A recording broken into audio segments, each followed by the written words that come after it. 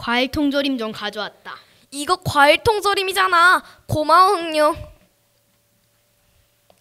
냠냠. 와 진짜 맛있다. 그런데 유통기한을 모르겠다.